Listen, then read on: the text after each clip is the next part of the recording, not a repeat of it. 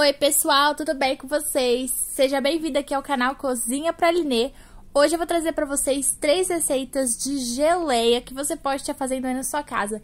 Ainda mais que se tiver fruto estragando aí, não joga fora não. Então vamos lá para nossa primeira receita, a amora. Aqui eu já tô enxaguando, eu tenho mais ou menos duas xícaras. Você pode fazer a quantidade que você quiser, mas aqui eu vou te passar a medida de duas xícaras. Vou enxaguar bem, enxágua bastante aí para não ter nenhum bichinho, nenhuma sujeira no meio. Aí depois eu vou pegar essa amora e já vou colocar no liquidificador. E basicamente, gente, vamos bater aqui para ela dissolver melhor. Você pode colocar direto no fogo? Pode. Mas aqui eu acho que vai ficar melhor porque ela vai ficar mais lisinha.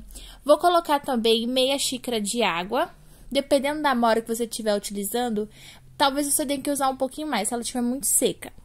Aí eu vou colocar também duas colheres de açúcar. Aí você pode estar tá testando, tá? A quantidade que você gosta, tá? Vai depender do sabor da fruta que você tá utilizando. Porque a mora varia um pouquinho. Tem pé que é um pouquinho mais doce, tem pé que já é um pouquinho mais azedinho. E vou colocar também suco de meio limão. Você pode estar tá trocando por duas colheres de vinagre.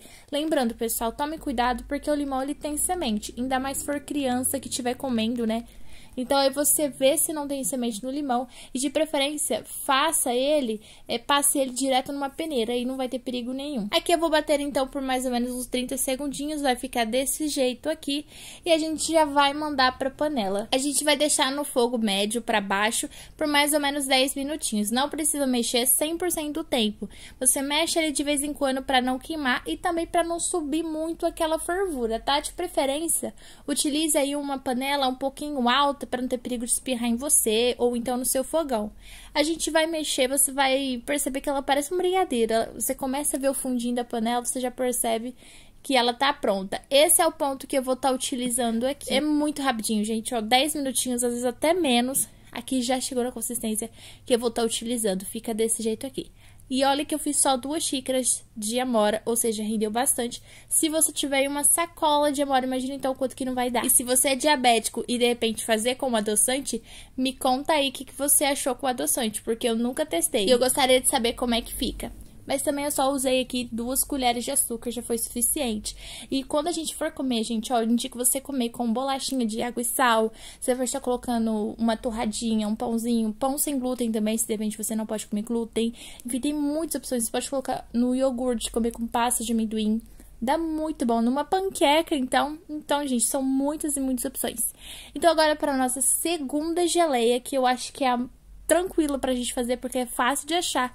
É a uva, gente. A uva é muito fácil de achar. Claro, tem épocas que ela tá mais cara, mas aqui nessa época tá bem em conta. Tá mais ou menos 5 reais uma caixa inteira dessa. Então a gente vai aproveitar, né? A caixa que eu tô utilizando, gente, ela é sem semente. Se você fizer com semente, é, eu não indico muito, porque a sementinha ela pode ficar ali na nossa geleia e às vezes ainda mais, principalmente se for uma criança, uma pessoa já de idade for comer uma semente, então isso pode dificultar. Então use sem semente para não ter problema. Primeiro de tudo, a gente vai tirar o cabinho dela, tá? Essa, esse tronquinho que tem na uva e vai deixar só a uva mesmo. E também você precisa tirar aquelas uvas que já tá podre, que já tá é, começando a murchar demais. Se tiver muito feia, você joga fora, vai deixar as mais bonitas. Se ela tiver mole, não tem problema. Ela não pode estar já aquela, sabe, mais um pouco apodrece, então não pode, gente. Ainda mais se tiver mofado, né? Aí você tem que jogar fora. Você só vai aproveitar aquilo que tá bom. A gente vai enxaguar bastante aqui pra tirar toda a sujeira, né? Porque ela não vem limpa da, da caixa, não, viu, gente? Então, a gente vai lavar aqui e já colocar direto no nosso liquidificador. E olha só como tá brilhando, tá muito bonita. E no caso da uva, a gente não precisa colocar água. A gente vai colocar, então, o suco de meio limão e também vamos colocar o açúcar. Aqui eu tô utilizando 3 colheres de açúcar, porque é uma quantidade maior. Eu vou bater aqui no nosso liquidificador mais ou menos aí uns 30 segundinhos. A uva, ela tem bastante água, então vai ser bem tranquilo. E olha só a cor que já vai ficar. Não precisa peneirar. Eu vi umas receitas na internet que a gente peneira para tirar a casca da uva. Mas aqui eu fiz, deu super certo, ficou muito bom. Se você quiser peneirar, pode peneirar, mas ela vai render menos. E não tem necessidade, porque fica muito bom. E o processo é exatamente o mesmo. Vou levar no fogo médio para baixo, vou mexendo ali de vez em quando até chegar no ponto que você quiser. No caso, deixei em torno de 10 minutos até começar a desgrudar do fundo da panela, que ela vai ficar desse ponto aqui. Chegou nesse ponto aqui, você desliga o fogo e já coloca para esfriar. E olha, eu não sei me decidir de qual das duas eu prefiro, se é a de uva ou se é a de amora. As duas ficam muito bonitas, dá pra você colocar até em cobertura de bolo se você fizer aí pra bolos caseiros, por exemplo, com certeza dá pra fazer no café da manhã, no lanche da tarde, enfim, muito melhor do que a gente comprar, é algo industrializado, né? E a nossa segunda geleia está pronta. E agora eu vou te mostrar a terceira geleia, que é a de abacaxi com pimenta. A nossa geleia de abacaxi com pimenta, basicamente, eu vou fazer aqui meia receita para vocês, tá? Eu vou utilizar então meio abacaxi picadinho, de preferência pega aquele abacaxi que já tá mais docinho, que já tá mais maduro, porque aí você vai usar menos açúcar, né? Você vai usar o, o próprio açúcar da fruta. Então, aí a gente vai picar em pedacinhos pequenos esse abacaxi. E vamos colocar também pimentinha dedo de moça. Para meio abacaxi, eu vou utilizar uma, tá? Uma unidade de pimenta dedo de moça. Só que assim, se você não gosta de nada muito picante, você pode estar colocando um pouquinho menos.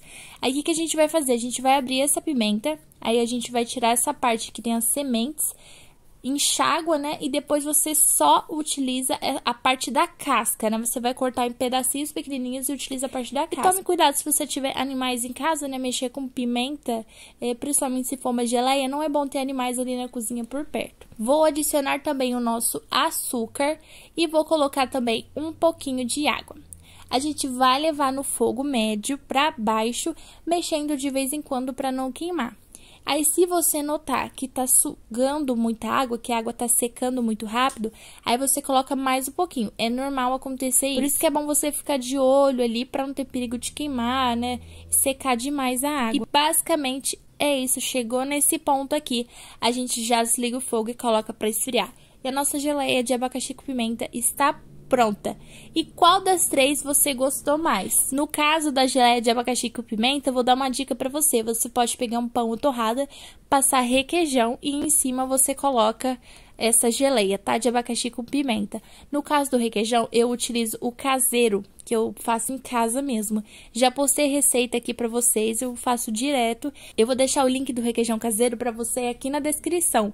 Ele fica muito cremoso, é tranquilo de fazer, rapidinho, econômico e mais saudável do que o comprado, porque ele tem menos gordura, né? Se você fizer alguma dessas geleias, me conta o que você achou. Afinal, a gente tem que cuidar da nossa saúde mesmo. E às vezes tem frutos estragando na nossa casa, no quintal de casa. Ganhou aí um monte de fruto do vizinho, sabe o que fazer. Tem como fazer de jabuticaba também, que um dia eu posso trazer aqui para ensinar para vocês como que faz a de jabuticaba. Maçã que tá estragando, fruto estragando, você já não sabe mais o que fazer. Faça geleia é isso, você não vai perder. Tem muita, muita receita que você pode estar fazendo com coisas que estão indo pro lixo. Pessoal, muito obrigada por terem ficado até o final, por ter assistido. Deixa seu like, se inscreva para você não perder os próximos vídeos, para o YouTube te recomendar os próximos vídeos que serão postados. E que Deus abençoe muito sua vida, sua casa, sua família, suas vendas. Vai dar tudo certo, que sua vida seja muito iluminada por Deus, em nome de Jesus. Obrigada por terem ficado até o final. Tchau, tchau.